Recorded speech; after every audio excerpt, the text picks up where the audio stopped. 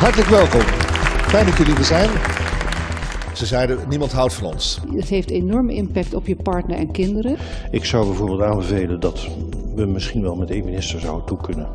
Hoe belangrijk het buitenland ook is. Dan komt die VOC-mentaliteit weer om de hoek en dat willen we toch Dat niet. is toch die geweldig. Daar ben ik heel erg voor voor de VOC-mentaliteit. Misschien moeten we wel veel vaker functioneel vreemd gaan. Waarom? En, misschien moeten we wel veel Ja, ja, nee, vaker ik hoor het wel, functioneel maar vreemd gaan. Wij hebben ons eigenlijk verbaasd de afgelopen jaren dat eigenlijk het sluiten van ambassades een hamerstuk in de Kamer was. Het is eigenlijk ondenkbaar hoe makkelijk dat ging. De goede dingen die onze posten doen, die, die spelen zich af ver Ja. weg.